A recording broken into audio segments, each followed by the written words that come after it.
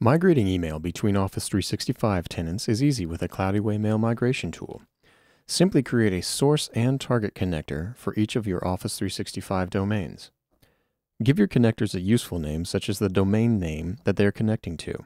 In this case, we are migrating from a domain named warmsushi.com. We'll enter the email address of an administrator of warmsushi.com or an account that has application impersonation rights. We'll enter the password of that account and click Save. Be sure to read the help info to the right. That can help you set up your source and target connectors.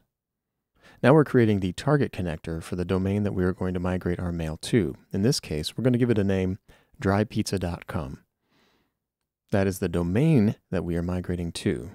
Now in this connector, you also need to enter the domain name in Office 365 as well as the email address of an administrator account or an account with application impersonation rights.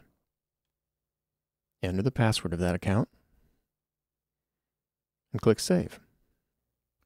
Now we will create our migration user list. You can import a list of users, but in this case we will set up a single user's mailbox to migrate.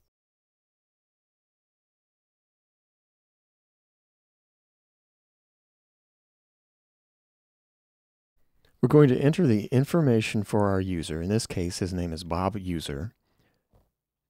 Enter the source email address that we're migrating mail from. And enter the target email address where we will migrate mail to.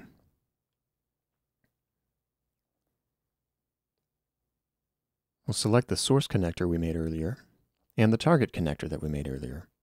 And now we will select the license type. In this case, we're going to use the free trial license. Select the user that you just created, click on Migration, and click Start. Your migration will begin shortly.